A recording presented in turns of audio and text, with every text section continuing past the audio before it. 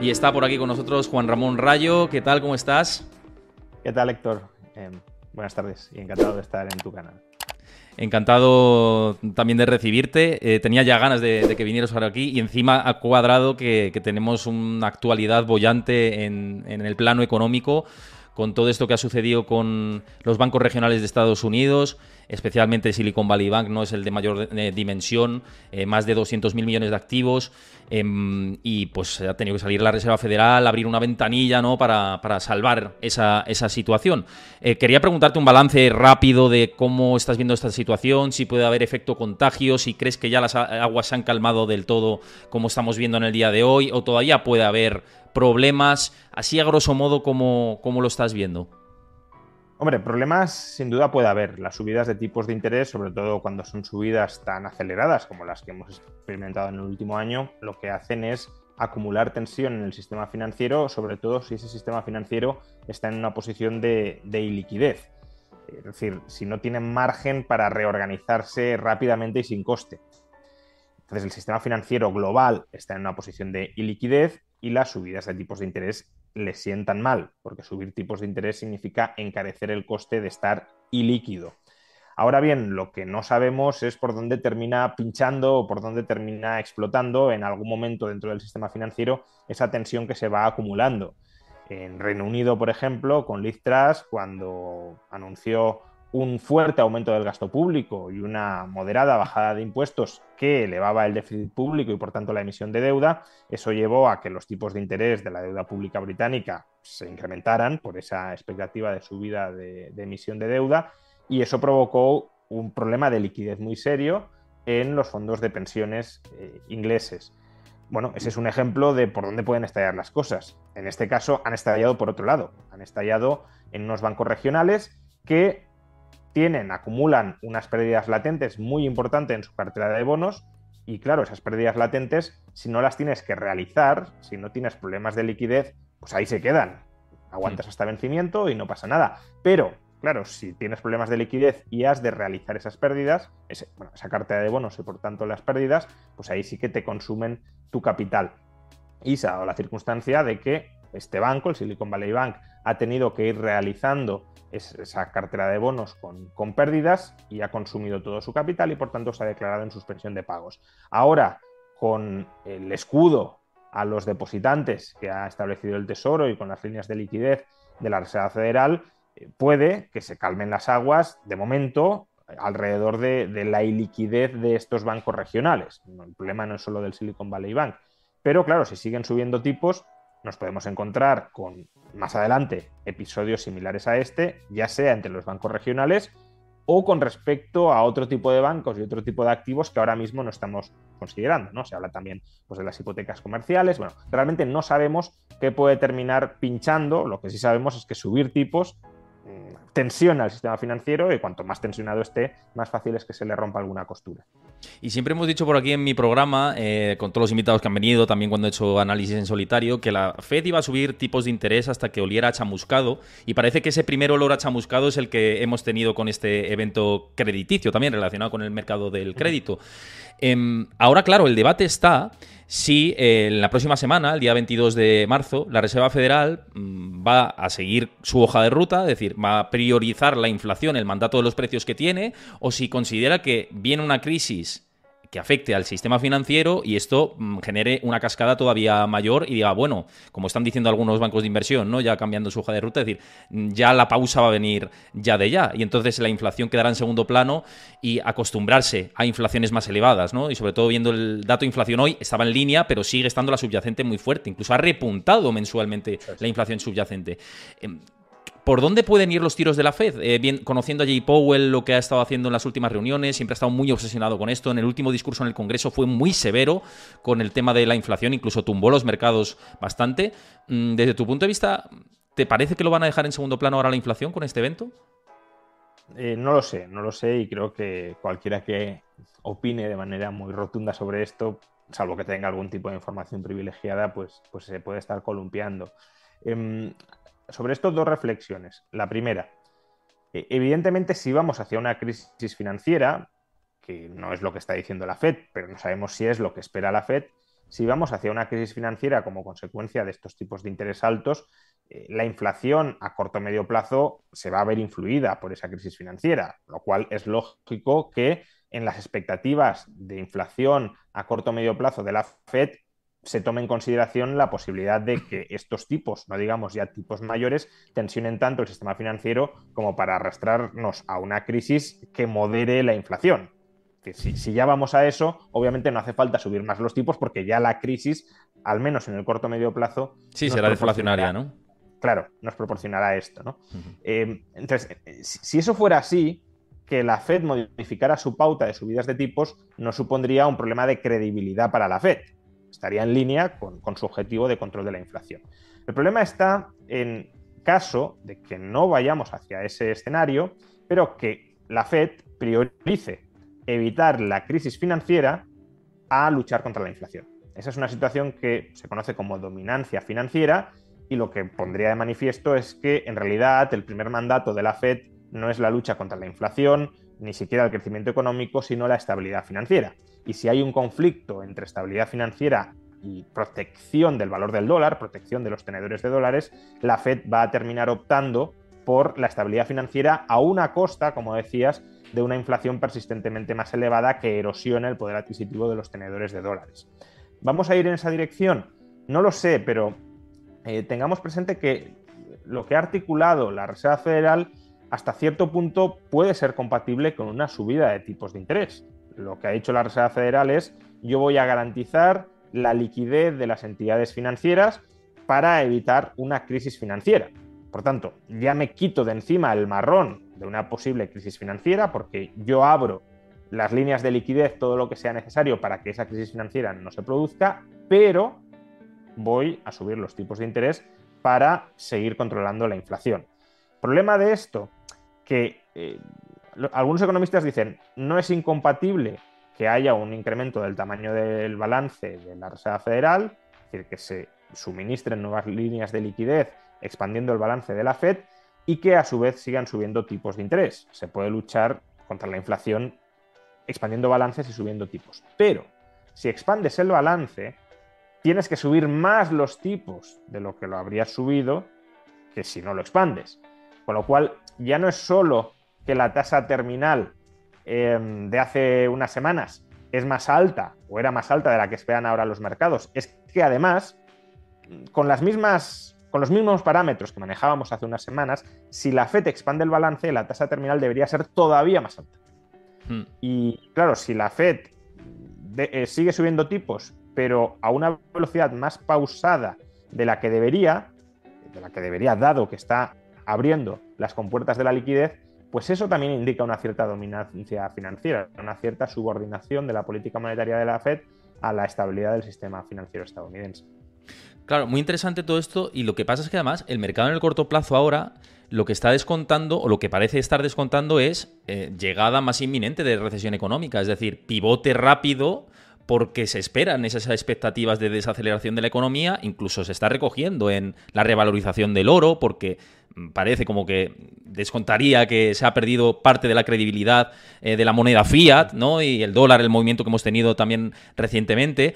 Eh, entonces, ligando con todo esto, y luego vamos a ir a la parte de la inflación y todo lo que estamos eh, hablando, y vinculación sobre el ahorro personal y sobre el contribuyente y el ahorrador y lo que tiene que hacer, pero ligando con todo esto, fíjate, yo he dicho durante muchos programas eh, que hay siete indicadores adelantados de que nunca, que bueno, que siempre han sido indicadores adelantados de recesión económica, como curva invertida de tipos, eh, Duncan Leading Indicator, el Conference Board de Leading Indicator, eh, la temporalidad del empleo en Estados Unidos incluso, todos estos apuntan ya en esa dirección y apuntaban en torno a abril, agosto, por cómo ha funcionado en el pasado, a, esa desaceleración económica. ¿Tú crees que esto puede ser lo que hemos visto con Silicon Valley Bank y este tensionamiento sobre el mercado del crédito como los primeros síntomas más de que esto está empezando a llegar, ¿no? Quizá, bueno, esto es bola de cristal un poco, pero sí que vamos hacia esa dirección y por eso hay esas expectativas de caída de tipos ya en junio. Ojo, el mercado ya de futuros descuenta en junio. Sí, a ver, también hay que tener en cuenta que eh, los tipos pueden estar cayendo ahora simplemente por, por una fuga hacia la calidad por una búsqueda de, seguridad durante los últimos mm. días, ¿no? es decir, una huida de ciertos pasivos que se pueden ver muy expuestos ante una crisis financiera y búsqueda de refugio más estable en, en la deuda pública con lo cual no estaríamos tanto ante un indicador que nos muestra expectativas inminentes de tipos, sino más bien ante un aumento de la demanda de activos libres de riesgo eh, de protección para el inversor, dado que ha aumentado la incertidumbre. Y la incertidumbre estos días claramente ha aumentado. Pero sí, cabe la posibilidad, claro, de que al menos parte de, esa senda esperada de tipos de interés de la Fed eh, a corto o medio plazo esté indicando que efectivamente los inversores esperan ahora que se empiecen a recortar tipos. Si se empiezan a recortar tipos, solo puede ser porque la economía se desacelera de manera muy clara, muy visible en el corto plazo, eh, o porque la Reserva Federal tiene información sobre tensionamiento financiero que no nos está revelando y, ve las cosas muy, muy, muy, muy malas si no, si no baja tipos, o porque la inflación caiga de manera muy considerable en el muy corto plazo. No parece que la inflación vaya a caer de manera muy considerable en el muy corto plazo. Es verdad que en marzo vamos a tener eh, un efecto base que va a reducir significativamente las tasas interanuales, pero lo que cuenta al final son las tasas intermensuales y estas no se están moderando, al menos en Estados Unidos. Y en España tenemos dudas de si lo están haciendo o no a tenor de lo que ha sucedido en los últimos dos meses, pero bueno, hablando de Estados Unidos, no se están moderando de manera eh, significativa. Y claro, lo que nos puede quedar es eh, pues que empiecen a acumularse indicadores muy malos de actividad económica que lleven a la FED a priorizar ese impulso a la actividad y al empleo frente a la lucha contra la inflación. Lo que pasa es que hasta el momento hemos tenido indicadores muy, muy contradictorios. Es decir, los, los indicadores quizá más retrasados muestran una fortaleza muy notable de la economía estadounidense y en cambio los indicadores supuestamente adelantados nos indican que, que la recesión es bastante inminente. Cabe una posibilidad entre medias y es que eh, la economía mundial, tanto la estadounidense como la europea y la española también, no lo hicieron especialmente bien en el segundo semestre de 2022. Hubo una parálisis clara de la economía en, la segunda mitad de 2022. La eurozona, descontando Irlanda, entró en recesión, técnica no, pero el PIB se contrajo en el cuarto trimestre de 2022 España apenas creció en el cuarto trimestre de 2022, la economía estadounidense también mostró debilidad, em, pero claro, en ese segundo semestre también hemos experimentado un shock de oferta positivo en forma de precios energéticos más bajos. Y eso puede estar de alguna manera camuflando temporalmente tanto la persistencia de inflación, porque un shock energético positivo te está arrastrando artificialmente la inflación a la baja, como, como el shock energético negativo durante la primera mitad de 2022 te la llevó al, 10 o al 11%, y, y, la inflación verdaderamente nuclear no era esa, eso era consecuencia de un shock negativo de oferta, y a su vez te puede estar estimulando a corto plazo la actividad, porque precios de la energía más baratos pues, te dan un, respiro y un impulso. pero claro, cuando se agote ese shock de oferta positivo, sobre todo si no recibimos otros shocks de oferta positivos, pues la inflación se va a revelar más enquistada de lo que parecía que estaba, con esa tendencia aparente a la baja, y la economía más débil de lo que quizá pensábamos que estaba. Entonces, no, sé qué va a suceder, porque no tenemos bola de cristal, pero hmm. ese, ese escenario en el que el shock positivo de oferta está distorsionando el análisis que hacemos tanto de la inflación como de la actividad, creo que hay que tenerlo en cuenta a la hora de evaluar la situación en la que estamos y por tanto la economía podría no ser tan fuerte como aparentemente es ni la inflación estar moderándose tanto como aparentemente lo está. Antes de seguir, vuelvo a recordar que comentéis por ahí por el chat que está a vuestra disposición, nos quedaremos con las mejores preguntas, las filtrará Chris y luego me las pasará para, hacerlas por aquí. Y, bueno, pues eso, que tenéis el chat a vuestra disposición. Si está gustando el contenido que estamos haciendo, eh, seguid el canal de Twitch. También os podéis suscribir con Amazon Prime de manera gratuita para que lo sepáis si os gusta este tipo de contenido financiero. Em, y fíjate que em, con esto que dices del efecto base, que totalmente de acuerdo, em, es cierto que además mm, me encantan mucho los análisis que hace Bespoke Investments en este sentido, que siempre saca la tabla ¿no? de la comparativa y de, de cuándo se diluye ese efecto base y demás. Y apuntaba mes de junio-julio también como eh, sacaba ahí el, conteo, ¿no? Y ahí es como un reseteo y es muy difícil, y siempre lo hemos dicho que quizá costaría bajar la inflación del 4%, del, del 3 al 4%, ¿no? que, que podría estar precisamente por estos efectos bases que estamos comentando. Con todo esto, eh, ¿Ves probable, porque esto es un debate que está en todos los economistas ¿no? y los que siguen política monetaria, ¿ves probable modificación de el, digamos, el objetivo de inflación de los bancos centrales del 2% a más por arriba para soliviantar una situación tensa eh, como puede haberla? A ver, todo puede pasar. Cuando a Powell le han preguntado sobre esto, ha dicho que ahora mismo no toca, que puede tocar en mm. la siguiente revisión de los objetivos de política monetaria, pero no ahora. Y, y yo tiendo a coincidir con esa visión. Es decir, Dejando de lado que yo no soy especialmente favorable que se revise al alza la inflación, el objetivo de inflación, porque eso simplemente significa que estamos convalidando que el Estado nos imponga un señoreaje anual superior al que ya nos está imponiendo y que por tanto haya un impuesto sobre los tenedores de dólares mayor del que ya hay ahora. Si el gobierno estadounidense necesita subir impuestos, que, que lo suba, pero que no utilice la argucia de la inflación, que además es un impuesto bastante ineficiente. Pero bueno, dejando de lado esta, esta consideración, eh, imaginemos que, llegamos al consenso de que sí, que el objetivo de inflación del 2% no es el adecuado y que es mejor el, 3% o el 3,5%. Eh, creo que el peor momento en el cual eh, se puede cambiar el objetivo de inflación es el actual.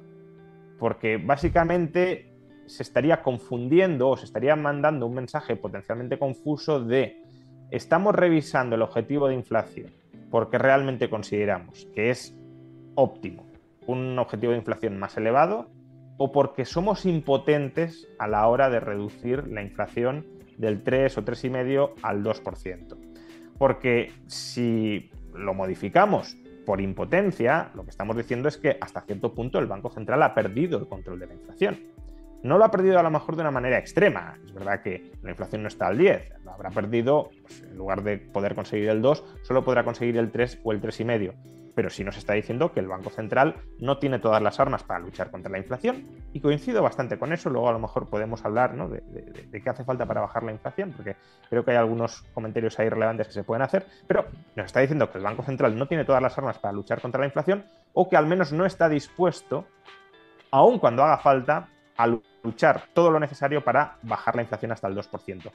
Y eso, de nuevo, nos vuelve a demostrar, nos volvería a demostrar, si se revisa el objetivo de inflación, que existen otras agendas, otros objetivos que el Banco Central prioriza frente a la protección del tenedor de dólares. Y claro, cuando tienes un Banco Central que no piensa por el tenedor de dólares, sino que piensa por los beneficios de la banca, por la estabilidad, me da igual, financiera de la banca, o por la financiación barata del gobierno, o por eh, que no se pierda empleo, ese intercambio entre Powell y, Warren en el, Senado, yo creo que era, claro, se le ha criticado mucho a Powell, pero es que realmente lo que tenía que decir es lo que dijo. Es decir, mi objetivo es luchar contra la inflación, sobre todo cuando la inflación está tan desbocada y el empleo está en mínimos históricos. Em, aparte de que sea socialmente claro, es mejor que todos los trabajadores se empobrezcan a que dos millones pierdan su empleo, pues no tiene por qué ser así. Pero incluso aunque solo fuera la pérdida de dos millones de empleos, el objetivo de Powell debe ser ahora mismo luchar contra la inflación. Si el gobierno quiere ayudar a esos dos millones de, personas que quedan desempleadas, pues lo puede hacer y lo debería hacer sin déficit, es decir, aumentando el gasto y aumentando los impuestos a otros ciudadanos. No es misión de Powell eh, evitar la destrucción de empleo eh, luchando contra la inflación. Si se evita la destrucción, mejor, claro, pero si fuera absolutamente imprescindible destruir empleo para luchar contra la inflación, Powell tiene que señalizar que está dispuesto a destruir empleo para luchar contra la inflación, porque si no, su credibilidad, es decir, su, su crédito como defensor de la moneda, se desvanece. Y si se desvanece el crédito del Banco Central como defensor de la moneda, la demanda de moneda se resiente. Es decir, hay menos gente dispuesta a mantener dentro de sus carteras a largo plazo el dólar. Y eso en sí mismo es inflacionista. Por tanto, aunque sea por ir de farol, Powell tiene que decir lo que dice y tiene que aparentar que su único compromiso es la inflación. Y claro, se modifica el objetivo de inflación cuando hemos llegado al 3,5, pues no es muy creíble. Si lo modificara cuando estuviera en el 2, pues diría, oye, misión conseguida. ¿Y ahora qué? Pues ahora nos replanteamos si el 2 es lo mejor o hay que subir al 3 o al 3,5. Pero claro, primero llega al 2, primero demuestra que tu mandato actual lo puedes conseguir. Y si, y si cambias antes de conseguirlo, no va a oler demasiado bien y puedes perder credibilidad. No, y por eso tienen un papelón súper tremendo con esta situación que le ha pasado con los bancos, ¿no? Eso, eso desde luego, vamos, completamente, completamente en sintonía con todo esto. Y fíjate, hablando de inflación, en, España también hemos conocido el dato de inflación, la subyacente sigue desbocada, sigue mm, en los niveles máximos de los últimos 40 años, en tasa anualizada. Em, y claro, eh, esto induce a pensar al ahorrador em, qué métodos tiene ¿no? para, protegerse, porque es una inflación completamente eh, descontrolada desde, hace más de un año y pico. Y pues si mantenemos los ahorros quietos en, la cuenta, ahora mismo en los depósitos bancarios siguen estando bastante dormidos. Me parece que en España la media estaba en el 0,64%. En Estados Unidos también lo de eh, Silicon Valley Bank viene derivado de no eh, fomentar unos depósitos atractivos, ¿no? Al final el capital se te fuga si eh, los tipos de interés están como están de tensionados.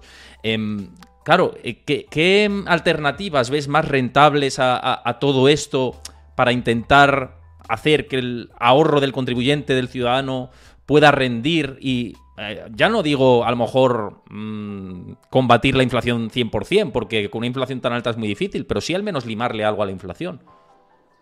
Bueno, una alternativa que es muy conocida es la deuda pública. La deuda pública está pagando tipos de interés eh, altos, los está pagando porque compite con los tipos de interés sobre reservas que están abonando los bancos centrales para que los bancos aparquen sus, reservas, los inmovilicen y, por tanto no, no, los utilicen como base para la concesión como base de liquidez para la concesión de nuevo crédito, pero en cualquier caso, ya sea por una cosa o por la otra, los tipos de interés de la deuda pública han subido, han subido sustancialmente en Estados Unidos y han subido sustancialmente en Europa. Los pasivos de un banco, en última instancia, se pueden considerar títulos muy similares a la deuda pública. Los pasivos, me refiero, los depósitos, mejor dicho. Eh, muy similares a la deuda pública. ¿Por qué? Pues lo acabamos de ver con el Silicon Valley Bank. Eh, ¿Qué ha dicho el gobierno estadounidense? Vamos a eh, vamos a eh, proteger al 100% los depósitos. Por tanto, el riesgo de invertir en depósitos, ¿cuál es? El riesgo soberano, que el gobierno pueda hacer frente a esa promesa o no. Entonces, si ya eh, los depósitos bancarios tienen un riesgo similar al de la deuda pública, pero no te están dando una rentabilidad ni mucho menos similar, pues bueno, puede tener sentido transferir parte de tus depósitos a la deuda pública especialmente a corto plazo, ¿no? Para no someterte a riesgo de liquidez como el que ha sufrido el Silicon Valley Bank. Pero si inviertes en deuda pública a corto plazo, tienes disponibilidad de los fondos, mm, no tan grande quizá como en un depósito, pero prácticamente, si no lo necesitas al instante, eh, muy grande, y una rentabilidad que no cubre la inflación, pero no está tan lejos de cubrir la inflación. El problema de la banca eh, no solo es que sea un, un oligopolio, que, Claro, ¿por qué la banca está pagando tipos de interés tan bajos por, sus depósitos? Pues porque tiene probablemente poder de mercado y por tanto eh, se coordinan los distintos bancos para no entrar en una guerra de depósitos y eh, mantener los tipos bajos. Les conviene que los tipos estén bajos, aún quedándose sin más depositantes, que subir todos ellos los tipos y, por tanto eh, tener que remunerar a todos tus depositantes a un tipo de interés más alto. Un problema es ese, sin duda. Pero, claro, también a ver qué tipos de interés le exigimos a la banca que pague. Porque yo he leído eh, comentarios de lo del Silicon Valley Bank no habría sucedido si hubiese remunerado sus depósitos al 4 o al 5%. Bueno, la cuestión, no lo sé, pero la cuestión es, ¿la rentabilidad media que obtenía Silicon Valley Bank sobre su activo está cerca del 4 o del 5%? Porque claro, si te has hinchado a comprar deuda pública o deuda hipotecaria en 2020 y 2021, principios de 2021, y sin cubrir, esa ¿eh? deuda estaba, rentando al 2 o al 1, pues claro, tu activo no te renta para pagar los tipos de interés de tu depósito. El Banco Central lo puede hacer porque, bueno, tira con pólvora del rey. Básicamente crea las nuevas reservas y, y el valor de esas reservas se mantienen con impuestos. Pero un banco privado ¿Tiene una cartera de activos lo suficientemente rentable como para remunerar a tipos de interés competitivos con la deuda pública sus depósitos? Pues ah, quizá haya bancos que sí, pero otros no necesariamente. Y por eso la situación de, liquidez de muchos bancos puede ser una situación mm, complicada si no pueden competir con la deuda pública y se sigue produciendo esa fuga de depósitos. Eh, y fíjate, em, precisamente Em, te quería preguntar si crees que estamos asistiendo ahora a una batalla por el pasivo, con esto que estabas diciendo, porque ya hay fintechs, entidades, pues como Trade Republic, Scalable Capital o Freedom 24 eh, que empiezan a remunerar estas, estas bueno, cuentas, ¿no? Eh, empiezan a remunerar sus cuentas y a ofrecer ventajas eh, que no veíamos hace unos meses. ¿Cómo ves esta batalla que se está gestando ahora mismo por neobancos, neobrokers, etcétera, para remunerar el pasivo? Viendo también que los bancos de momento están de Miranda, ¿no? como estamos diciendo. Antes decía, el, sector bancario es un oligopolio y por eso no sube tipos, pero también es cierto que sí hay una cierta disputabilidad a ese oligopolio en forma de, nuevos intermediarios financieros que se están metiendo en ese sector y que obviamente tienen todo el incentivo del mundo, porque no forman parte de ese oligopolio, a tratar de captar pasivo. ¿Por qué tienen un incentivo muy grande a captar pasivo? Porque es que aunque te limites a invertir ese pasivo esa financiación que captas a través de la emisión de pasivo en, deuda pública a corto plazo, muy probablemente ya estés obteniendo un margen interesante para ese intermediario. No digamos ya si, si acometes otro tipo de intermediación que pueda ser incluso más rentable, pero solo con la deuda pública, deuda a corto plazo para no exponerte a riesgos de, de duración como los del Silicon Valley Bank, pues ya obtienes una ganancia. Entonces, tiene sentido que se vaya trasladando esa guerra del pasivo en la que la banca, por ser un oligopolio, no quiere entrar a esas nuevas entidades que disputan la posición de, los bancos. Ahí lo único que, hay que tener presente, claro, es eh, que, la gente tampoco se vuelva loca lanzándose a cualquier oferta de depósitos remunerados de otras entidades que, escuche. Es decir, eh, obviamente ha de estudiar esas ofertas en la medida en que, en que pueden ser atractivas, pero también teniendo en cuenta lo que hay en el activo de las entidades que ofrecen esos depósitos eh, remunerados porque al final la liquidez de un agente y la capacidad de repago de un agente, de una deuda, y, un depósito es una deuda, viene dada por su cartera de activos. Por tanto, hay que hacer un ejercicio también de un mínimo estudio de los activos que tiene detrás, la solidez de la entidad que proporciona esas, esas cuentas, ¿no? Para no, para, para no terminar perdiendo por, por querer ganar. Y precisamente una de las cuentas que os comentaba antes al principio del programa, digo, os comentaré uno de los productos que precisamente tiene Freedom 24, eh, recordemos, patrocinador de, esta charla, y Freedom 24, hablando de remuneración de depósitos, recientemente ha sacado la cuenta de que ofrece un 2,5% anual sobre el depósito en euros. 3% anual sobre el depósito en dólares. En este caso, bueno, quien esté viéndonos de Latinoamérica también que lo tenga presente, pero 2,5% anual sobre depósito en euros. No tiene límite, el importe mínimo son de 150 euros, em, simplemente. Em, se reciben los intereses desde el primer día, ya, eh, los intereses desde el primer día con esta cuenta de. Además es fácil y gratuita y simplemente tenéis que registraros.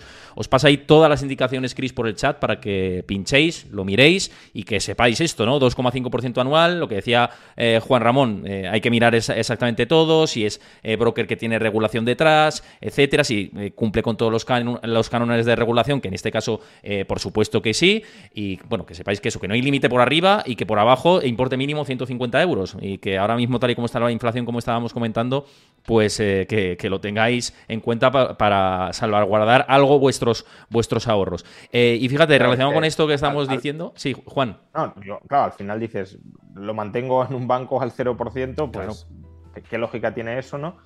Eh, y luego, claro, también no volverse loco, porque si hay algún banco que ofrece el 5, el 6 o el 7, pues oye, eh, a ver qué pasa, ¿no? ¿Por qué, está ofreciendo esos tipos tan altos sobre depósitos? Quizás que tenga algún problema de liquidez y por tanto a corto plazo esté remunerando eh, de manera muy, muy considerable los depósitos. Claro, si estamos hablando del 2,5, del 3, estamos hablando de remuneraciones que van en consonancia con las de la deuda pública soberana del país en el que, en el que uno está invirtiendo en esos depósitos. Eh, de modo que eh, de entrada no son remuneraciones anormales. Lo que es anormal es la baja remuneración de la banca tradicional que de manera concertada pues está, está evitando elevar la remuneración del pasivo. Pues como dice Juan Ramón, eso, echarle ahí un ojo, dos y medio es una rentabilidad bastante lógica y como decimos con la inflación que hay y con el 0,64% que ofrecen ahora mismo las entidades en promedio, pues oye, tenéis ahí estado competitivo y va en lógica con lo que hablamos con el, uno de los fenómenos, la tesoromanía, las colas que hay en el Banco de España eh, con, por la demanda de letras del Tesoro, que de hecho ha habido demanda reciente, ¿no? Eh, en subasta reciente. Quería preguntarte con esto, Juan, si crees riesgo real o improbable eh, con esto de la tesoromanía, porque dicen, ¿cuál es el riesgo realmente de invertir en letras de tesoro, en este tipo de activos, ¿no? que al final es que se produzca un default? ¿no? Em, ¿qué, riesgo tiene España de producirse un default? Te lo digo porque he recibido muchos comentarios también en Twitter diciendo, no invierto en letras a tres meses, ni a seis, ni a doce. Digo, hombre, que España impague en tres meses o en doce meses, ¿no? Es que por cuestión matemática ya no es posible. yo eso lo veo obviamente muy complicado. De hecho, el antecedente que tenemos de, Grecia, desde que se empezaron a producir los problemas hasta que se experimentó una quita sobre los acreedores privados, eh, fue de dos años, dos, años y medio. La quita a los acreedores privados fue en, 2012, a mediados de 2012, y los problemas financieros de la deuda pública griega, cuando esta ya empezaba a oler mal y se empezaban a disparar los tipos de interés, son de 2010. Entonces, claro, eh, si, si al menos se mantienen esos plazos, hay mucho tiempo para salirse de la deuda pública a corto plazo. Claro, de la deuda mm. pública a largo plazo ya es otra historia. Otra cosa es el bono a 10 años, está claro. Claro, si has comprado bono a 10 años y te empiezan a subir los tipos de interés por subida de prima de riesgo de España, ahí o te esperas 10 años, que entonces sí te pueden meter la quita, o mal vendes, lo que le ha pasado al Silicon Valley Bank, eh, con, a, pérdidas, ¿no? Con, con un valor de mercado inferior al valor de adquisición. Ahora, letras a tres meses, a seis meses, incluso a un año, es que o sea, aunque fueran a un año, muchísimos se tendrían que disparar los tipos de interés para que vendiendo pierdas una parte apreciable del capital que has invertido y sobre todo que cuanto más se acerque la fecha de vencimiento, más, se tendrían que disparar los tipos de interés para que el valor de mercado de ese instrumento caiga significativamente. Entonces, salvo que se prevea una especie de corralito eh, de todos los títulos de deuda y una quita a muy corto plazo, y no creo que Europa esté ahora mismo en esas. Eh, veremos en cinco años o en cuatro años o incluso en tres en las que está, pero ahora mismo no parece que esté en esas. Pues, a ver, prudencia, precaución, siempre está bien, pero claro, si, exageras tanto la prudencia o la precaución, pues al final no inviertes en nada. Y, tampoco eso es exactamente posible, porque si no inviertes en nada, ¿qué tienes? Moneda fiat, que te está rentando un menos 5, un menos 6%. ¿Inviertes en oro? Bueno, el oro ha subido recientemente, pero tampoco es un activo que esté libre de volatilidad y de depreciación potencial si cae su precio. Entonces, estar invertido vas a estar invertido en algo. La cuestión es cuál es aquel activo que incluso desde una perspectiva muy conservadora te minimiza el riesgo de, perder. Con la moneda fiat, insisto, ahora mismo estás perdiendo y por tanto tampoco es un activo seguro.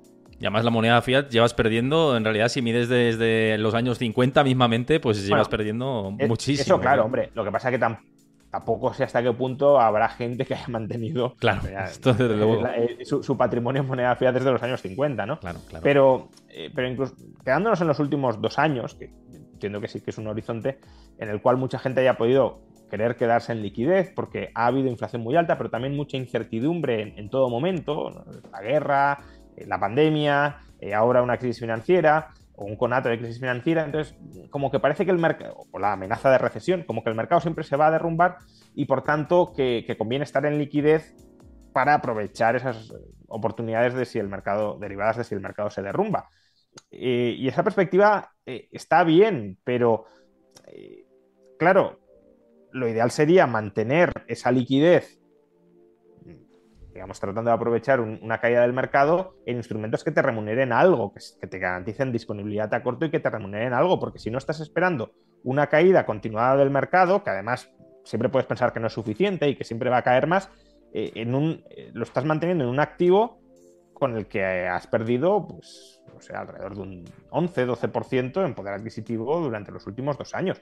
Y eso es una pérdida que si no has compensado en nada, eh, luego para recuperar la vía plusvalías, pues hmm. no es imposible ni mucho menos, pero que ya, son puntos de rentabilidad que te quita a cualquier aumento que, obtengas de, la compra de activos financieros tras la caída que estás esperando. Fíjate que este debate lo he tenido mucho con alguien que conoces muy bien, que es Gustavo Martínez, que él es eh, completamente escéptico de la deuda de corto plazo, la critica bastante y yo siempre decía, hombre, parte de la liquidez, o sea, tomar parte de esa liquidez eh, en inversión de renta fija de corto plazo o en eh, productos como la cuenta D que hablábamos de Freedom 24, que podéis echar un ojo antes, os ha pasado por ahí, Chris, el, el enlace por el chat, pues está bien, porque al final es verdad que la liquidez tiene la maniobrabilidad de poder decir, oye, pues ahora entro y salgo y ahora entro y salgo, pero no vas a mover toda la liquidez a renta variable y eso sería imprudente también. Entonces, tomar parte de esa liquidez e invertir en este tipo de productos eh, también es generar estabilidad dentro de tu patrimonio, ¿no? Eh, que es un poco lo que estamos Sí, a ver. Eh, una cosa es el argumento moral, que no sé si, si, Gustavo también refuerza su argumento económico con el moral, ¿no? Yo no quiero ser acreedor del Estado, yo no quiero financiar al Estado porque el Estado es una mafia y, bueno, si no tiene, de la misma manera que hay, fondos éticos que dicen, yo no invierto en armamento, yo no invierto en, nada que, contamine o emita CO2, pues, una persona con convicciones liberales también eh, se puede plantear, oye, yo no invierto en, hmm. industrias que se beneficien del Estado o yo no invierto en deuda pública. Vale, estás renunciando a rentabilidad potencial, pero por mantenerte dentro de tus estándares éticos. ¿De acuerdo? Ahora, si el argumento estrictamente económico de hombre, la deuda pública a corto plazo te quita maniobrabilidad, sí, pero salvo que consideres que la ventana de oportunidad para invertir es muy, muy, muy estrecha, como puede haberlo sido ayer o antes o, el viernes, ¿no? Eh, me meto hoy o, si no, luego el mercado rebota y, toda la, ganancia potencial se me esfuma. Que claro, si son ventanas tan estrechas, eh, es porque la incertidumbre también es muy grande, no, es normal que el mercado se hunde y al día siguiente eh, rebote. Si eso es así es porque eh, se ha incorporado mucha nueva información que no estaba disponible cuando te planteabas invertir. Y, por tanto, de la misma manera que puede terminar rebotando, puede terminar cayendo más. Eh, porque había mucha incertidumbre de, qué podía pasar. Si hubiese estado claro que no pasa nada, pues habría rebotado mucho antes. Entonces, salvo que sea una ventana tan estrecha, eh, realmente lo que necesitas es tener una cierta disponibilidad en un plazo razonable de tiempo. Y eso, la deuda pública a corto plazo, también te lo da. Si imaginemos que entramos en recesión, que el mercado se hunde un 20%, pues hombre, es que la ventana para entrar en ese mercado bajista no va a ser de un día o de dos días, va a ser de semanas o incluso meses. incluso puedes eh, liquidar la deuda pública, si la has comprado a corto plazo eh, y no se han disparado los tipos de interés. De hecho, más bien, si, si, hay caída de la bolsa, probablemente también haya caída de tipos de interés y, por tanto la deuda pública que compraste la puedas liquidar con cierta ganancia, eh, porque bajada de tipos, aumento del valor de mercado de la deuda pública. Pero bueno, aunque no fuera así, aunque la tengas que liquidar con un 2 o un 3% de pérdida, pues si estás tan convencido de que la, la oportunidad es gigantesca y demás, tampoco pasaría nada si lo liquidaras con esa pequeña pérdida. Eh, ya digo, en el caso más ventana muy estrecha, oportunidades muy buenas de revalorización que no aprovecho, pero en circunstancias más normales, más esperables, se puede manejar razonablemente la tesorería con, deuda pública o con otro tipo de cuentas remuneradas a, corto plazo, tratando de rescatar esa liquidez cuando consideres que es el momento de utilizarla. Y con este debate del ahorro que estamos teniendo, otro, otro tema que va muy ligado es el, tema de la sostenibilidad de las pensiones. Es decir, el ahorro de largo plazo va a ser más importante que nunca con esta inflación elevada. Pues esto, em, lo que hablábamos antes, eh, productos como la cuenta de, Freedom 24 mm, para el corto plazo, etcétera, fenomenal, ¿no? Vienen, pero luego pensando en el largo plazo, muy importante, ¿no? Esto de, generar el hábito, generar aportaciones, em, fomentar el ahorro privado, ¿no? Eh, ¿Cómo ves eh, el sistema de pensiones ahora mismo? ¿Qué tendría que pensar un ahorrador de cara, y sobre todo un ahorrador, hablo de a lo mejor una generación desde de en torno a los 30, 40 años, ¿qué tiene que pensar ahora mismo para, cimentar su futuro, eh, viendo pues que cada vez tenemos más deuda pública, estado deficitario, este tipo de problemas?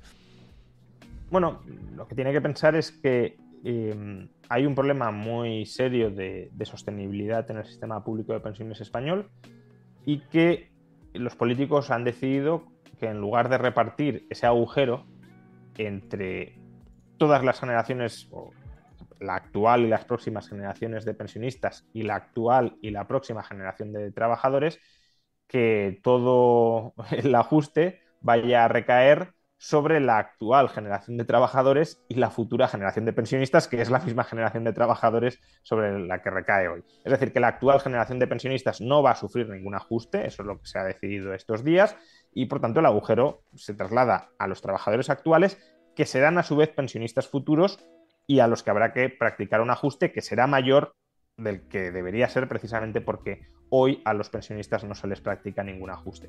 De modo que la capacidad de ahorro de la clase trabajadora se va a ver reducida, pero es que sus pensiones futuras también se van a ver reducidas.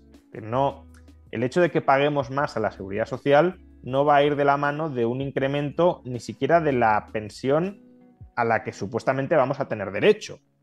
Nuestro derecho a pensión se mantiene constante hasta que cambien las reglas.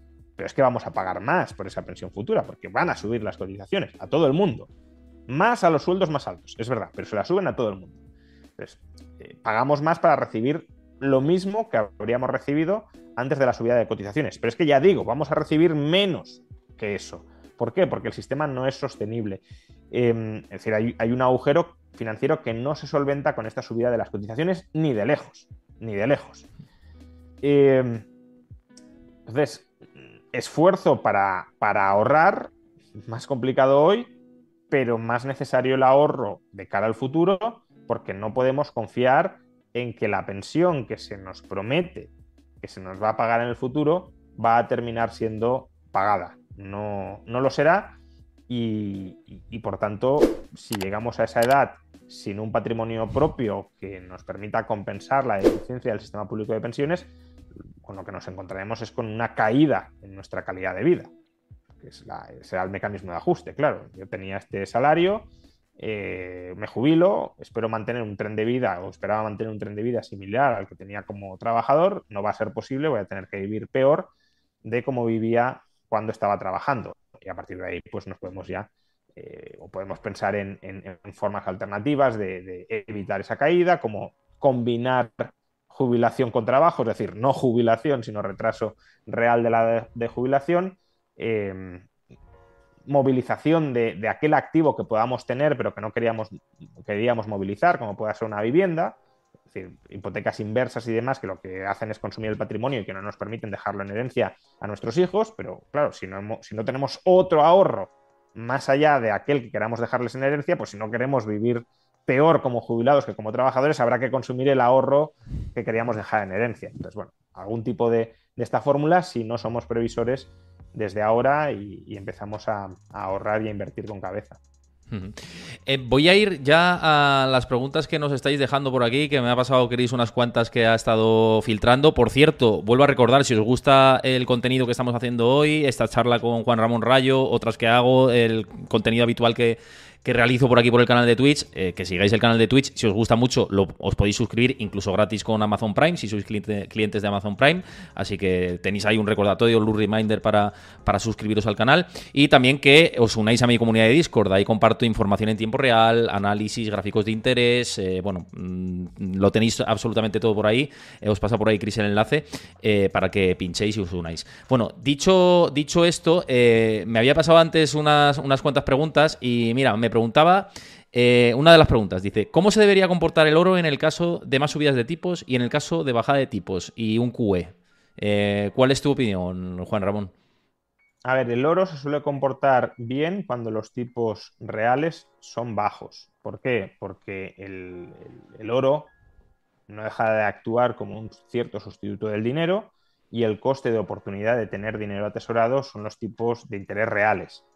Por tanto, con tipos de interés reales positivos, el oro se tiende a comportar bien, con tipos de interés eh, reales, eh, o sea, con tipos de interés reales bajos, el oro se tiende a comportar bien, con tipos de interés reales altos, el oro se tiende a comportar mal, porque, salvo que haya riesgo de default generalizado, porque hay otros activos que rentan más que el oro y que te permiten conservar tu poder adquisitivo. Mm, dicho de otra manera, eh, si, vamos a una inflación alta, que lleve a seguir subiendo los tipos de interés nominales por encima de la inflación, que eso es lo que debería ocurrir si la inflación se desboca, ese es el llamado principio de Taylor, subir los tipos de interés nominales por encima de la subida de la inflación, eso no es un escenario positivo para el oro. Aunque se tiende a pensar que con inflación el oro lo hace bien, el oro realmente lo hace bien con tipos de interés reales negativos o, muy bajos. Ahora, si vamos a un escenario de colapso del crédito y de deflación eh, y de ajuste a la baja de los tipos de interés nominales, claro, porque si, si, se modera la inflación, pero los tipos de interés nominales no bajan demasiado, pues habrá tipos de interés reales notables. Si hay un escenario de contracción del crédito, con bajada de tipos de interés nominales, bajada de precios, ese sí puede ser un escenario positivo para el oro. También sería un escenario positivo un aumento generalizado de la incertidumbre a una escala gigantesca. Es decir, si, las subidas de tipos nominales para contrarrestar la inflación eh, tensionaran tanto el sistema financiero que hubiese miedo de que todo puede terminar cayendo, pues ahí sí, claro, el oro también saldría muy reforzado. Sí, vamos, coincido en este análisis porque además he hablado tanto del oro y además desde noviembre yo avisé aquí que yo estaba posicionado a nivel particular, no recomendación ni nada, que yo me posicioné eh, aprovechando ese pequeño repunte que ya inició eh, y ahora fíjate la, cosa como ha ido. Em, mira, preguntaban por aquí también eh, qué papel tiene China en todo esto, con una inflación del 1% y un crecimiento menor del esperado, inyectarse más liquidez al sistema global. Claro, la cuestión es si China eh, o la incorporación, reincorporación de China a los flujos globales es un shock de oferta positivo o un shock de demanda positivo. Eh, es decir, si, China contribuye a bajar precios aumentando la oferta o si China contribuye a subir precios subiendo la demanda. Yo tiendo, he tendido a pensar que China es o supone un shock de demanda positivo. Aunque es verdad que si la economía eh, se estanca mucho, el efecto que tendrá sobre la demanda global será más bien escaso. Pero si la economía se estanca y a raíz de eso aprueban planes de estímulo muy importantes que revigorice, aunque sea a corto plazo, el gasto de China, pues eso sí tendría un efecto inflacionista sobre, eh, sobre el conjunto de, precios internacionales, empezando por materias primas, pero trasladándose a todo lo demás, claro, porque incluso habría cierta competencia por las exportaciones chinas entre demanda interna y demanda externa. No, y fíjate, con esto de China se hablaba cuando eh, reabrió la economía de cuidado sobre los precios de la energía, porque uno de los principales demandantes mm. del petróleo, como es China, pues eh, si demanda los términos habituales antes del COVID, eh, esto eh, puede ser inflacionista. Y de momento no se está viendo esto, ¿no? Estamos mm, en, este, en este esquema de pausa en eso. Probablemente por la debilidad de la demanda de, la economía china. Em, pero claro, como digo, si, si, se reinicia un crecimiento, aunque sea sobre la base de estímulos, ahí sí que China, China tendería a elevar los precios.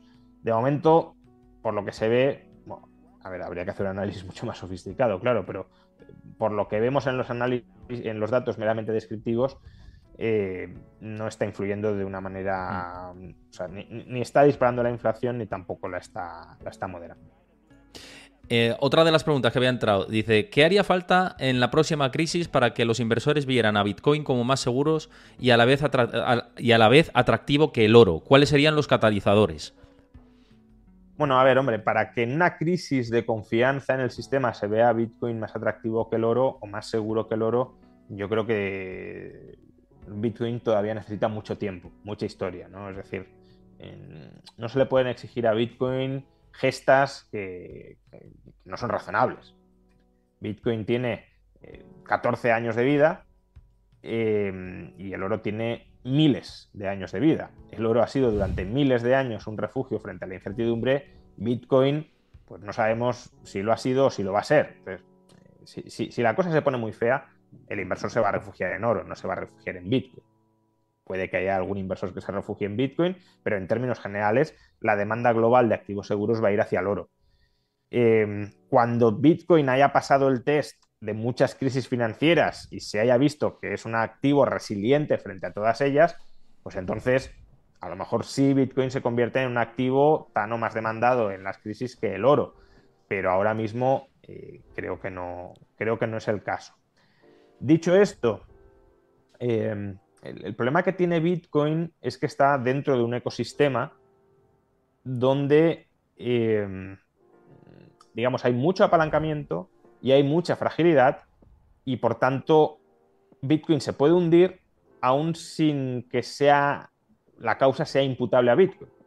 Es decir, si, por ejemplo, eh, ayer se hubiese declarado la suspensión de pagos de USDC, porque la empresa emisora era uno de los principales acreedores, Circle era uno de los principales acreedores del Silicon Valley Bank, pues claro, en la medida en que muchas transacciones en Bitcoin son intermediadas por stablecoins como USDC, claro, se habría producido una liquidación de Bitcoins que habría hundido su precio. De hecho, parte de la razón por la que se ha disparado es por la mejora de la certidumbre eh, respecto a la supervivencia de la stablecoin USDC.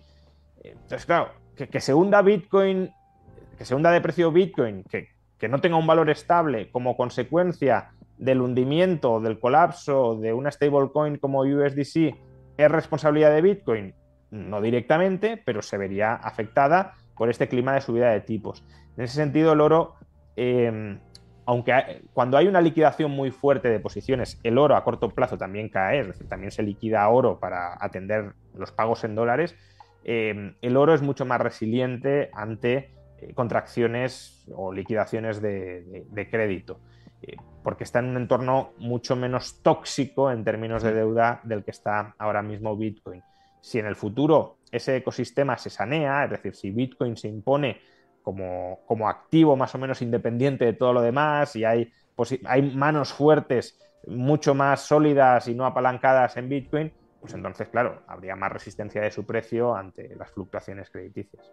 Yo siempre he dicho esto, digo, el inversor institucional, si se mete de verdad en Bitcoin, ahí hará que el activo, primero, sea menos volátil y segundo, pues vaya, puede ir más correlacionado con el oro, que ahora no lo está. Ahora Bitcoin a día de hoy, yo, yo soy pro, pro Bitcoin ¿eh? y creo en su eh, carácter que puede tener a futuro de reserva de valor que a día de hoy no lo tiene. Y es más un indicador del riesgo que, otra cosa a día de hoy. Se ha visto cuando se asume el riesgo, pues que Bitcoin repunta y que incluso indicador adelantado del riesgo en muchas ocasiones. Pero completamente de acuerdo con. Tiene más correlación con el Nasdaq que con, que con el oro, lo cual es muy indicativo. Quiero decir, eh, un, activo procíclico o, que va de la mano del riesgo no es un activo que te proteja frente al riesgo, obviamente. Entonces, se tiene que descorrelacionar con este tipo de activos eh, procíclicos antes de que pueda ser visto generalizadamente como un activo que te protege frente a la volatilidad. Eh, y fíjate, otra de las preguntas que entraba dice, ¿el peligro para la banca es que se destruya la confianza de los clientes y es donde la crisis financiera sería sistémica? ¿Qué opinión tienes? Bueno, yo creo que la banca tiene otros problemas potenciales en un entorno de, tipos de interés altos que eh, la desconfianza de los depositantes. Básicamente, el, problema principal que, le veo y que en parte la Reserva Federal ya ha corregido es que, eh, como decía, si, si eh, la cartera de bonos de la banca o la cartera de inversiones más en general, me da igual, se deprecia por la subida de tipos, eh, esas pérdidas potenciales no las realizas salvo que tengas problemas de liquidez. ¿Qué pasa? Que la Reserva Federal ha estado drenando liquidez del sistema. Entonces, en cierto modo, estaba depreciando la cartera de bonos de los bancos y abocando a algunos de ellos a que tengan que liquidar eh, esa cartera de bonos, sobre todo también si además hay competencia, como decíamos, entre depósitos y deuda pública o depósitos de, otro tipo de instituciones financieras que hacen que esas instituciones pierdan depósitos, no por desconfianza en un principio, sino simplemente por tipos de interés más atractivos o por reabsorción de, esos depósitos amortizando eh, activos, ¿no? la contracción cuantitativa del, del Banco Central que reduzca las reservas de esos bancos y les obligue, como digo, a liquidar activos. Entonces, ese es el principal problema, si lo queremos, yo creo, sistémico del contexto actual. Es decir, lucha contra la inflación con política monetaria contractiva que requiere subidas de tipos e idealmente reducciones del tamaño del balance de la Reserva Federal y, por tanto, de las reservas de los bancos. Ahora, claro, si se genera una crisis de desconfianza generalizada por la cual todo el mundo va a retirar su dinero de los bancos, a exigir el cobro de sus depósitos, pues eso agrava enormemente en una magnitud extraordinaria esa crisis de liquidez y, ya coloca a los bancos totalmente contra las cuerdas por la necesidad de malvender activos en un, momento de tipos de interés altos. Pero es que incluso aunque ese riesgo se, difumine, y, quizá con las líneas de liquidez del Banco Central y con la protección a los depósitos de, de Estados Unidos, y no sé si lo veremos también, una ampliación en Europa, aunque ese riesgo se calme, sigue habiendo otros problemas potenciales en el sistema financiero si se siguen subiendo tipos para luchar contra la inflación. Y ahora que mencionas Europa, y además por el chat también lo estaban comentando, y, yo lo estaba pensando, que no lo hemos tocado antes, eh, claro, aquí tenemos el problema, primero tenemos reunión eh, del Banco Central Europeo esta misma semana, vamos a ver qué, si, qué mensaje, más bien, porque la decisión de subir 50 puntos básicos no creo que sea revertida, pese a toda esta situación de Estados Unidos, pero sí el mensaje ¿no? que, puede mostrar Christine Lagarde con todo esto, y si aquí dicen que no, no va a haber efecto contagio, no nada, pero eh, los ojos están muy puestos en, en Credit Suisse que es una entidad que hace nada eh, valía el triple de lo que, de lo que vale ahora. Ya mm, su capitalización bursátil es inferior a 10.000 millones de, euros. Eh, ¿Cómo ves esta situación? ¿Crees que ya no efecto contagio, pero sí que puedan descoserse las costuras en Europa, como ha pasado en Estados Unidos, pero con, otro segmento del crédito, ¿no? Hay riesgo aquí también por esa subida tan abrupta de tipos de interés y porque tenemos una deuda pública en nuestro caso que, no está como en Estados Unidos con el Treasury, que, que, es unitaria, ¿no? Aquí es dispersión de la deuda. ¿Pueden saltarse las costuras por ahí? Sí, pero empezando por el final, eh, que me parece un comentario interesante esa dispersión de tipos de interés de la deuda pública europea, en este caso, y con respecto a, la cobertura de las entidades financieras frente a la subida de tipos de interés, puede que haya sido una ventaja. Y me explico.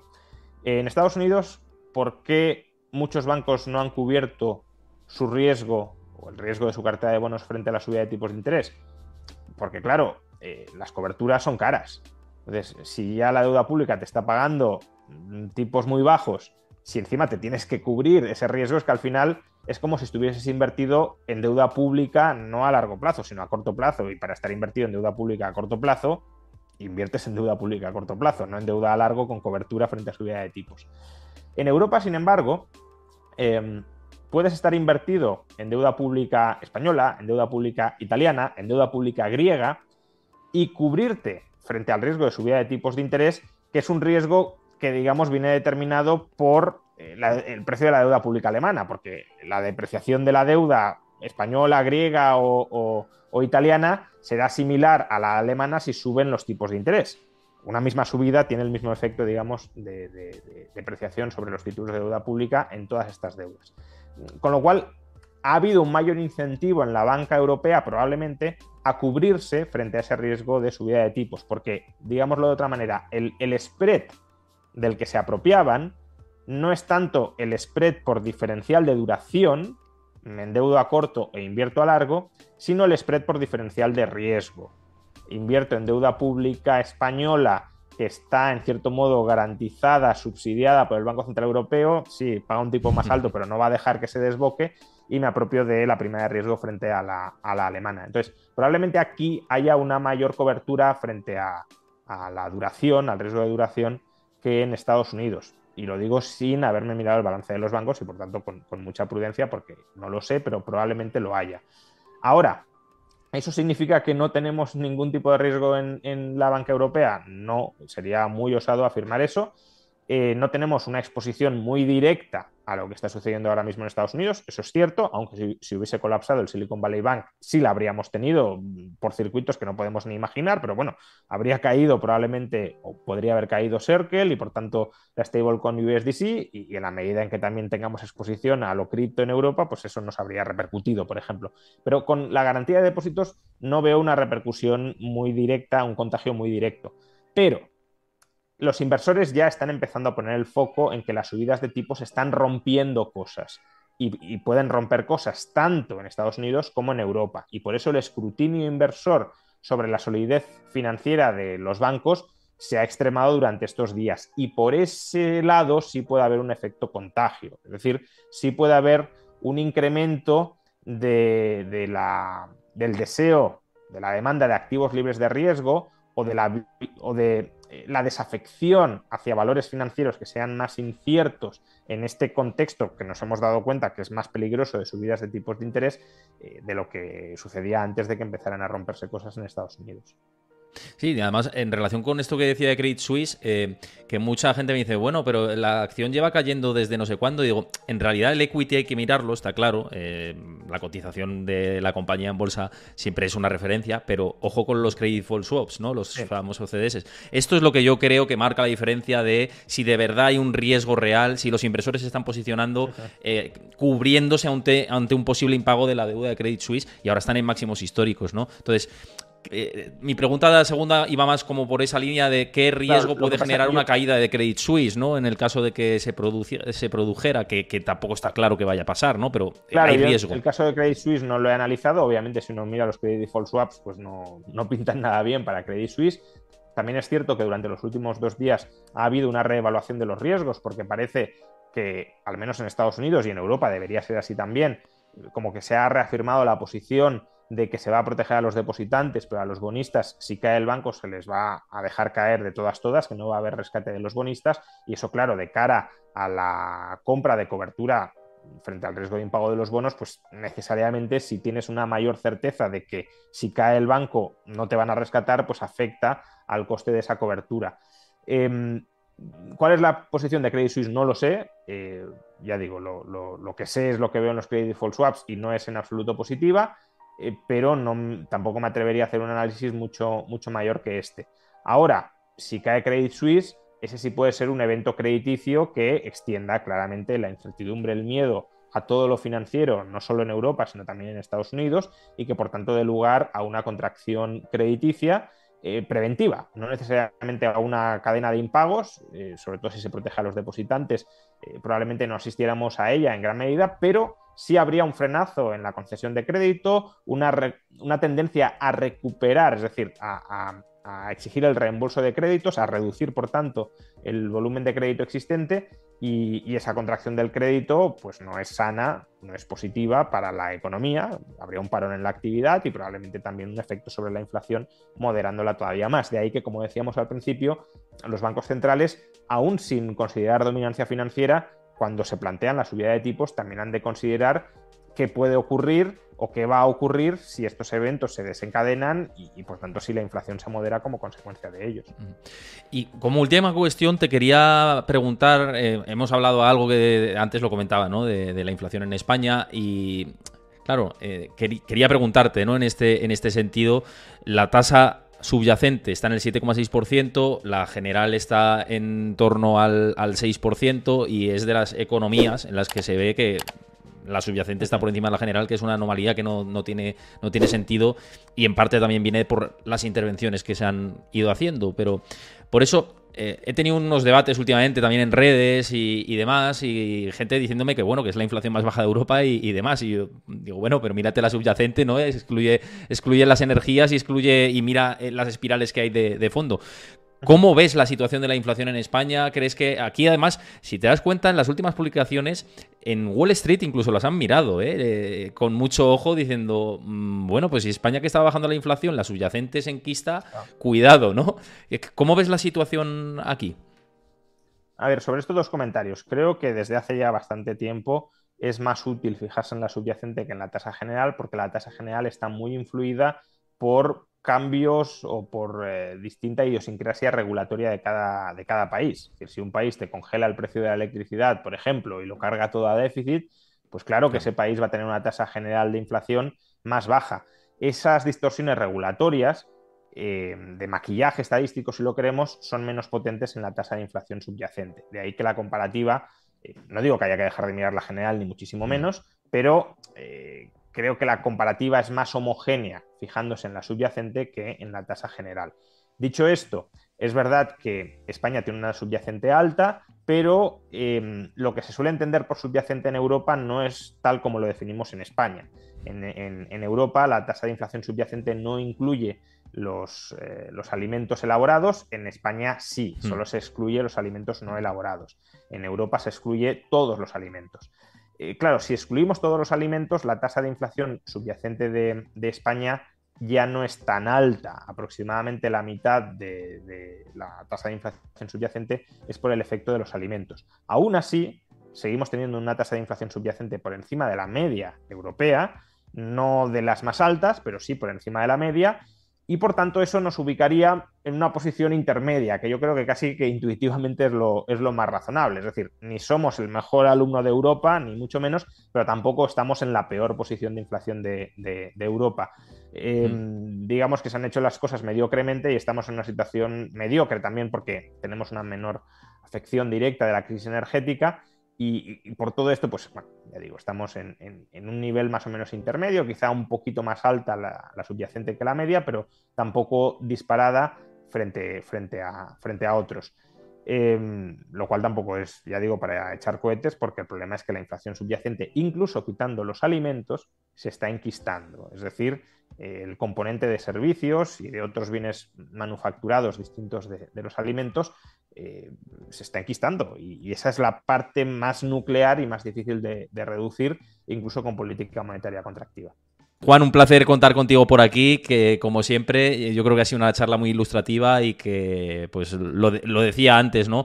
Alternativas como la cuenta de, Freedom 24 en un momento en el que la inflación, que hoy hemos tenido datos de inflación, sigue estando muy alta, con un 2,5% de rentabilidad garantizada y, bueno, sin límites y más, pues, oye, alternativas como estas, tenerlas en cuenta y lo dicho, que muchísimas gracias. Nada, muchas gracias a ti por invitarme a tu canal, ya lo he dicho, y nada, mucha suerte con que siga creciendo.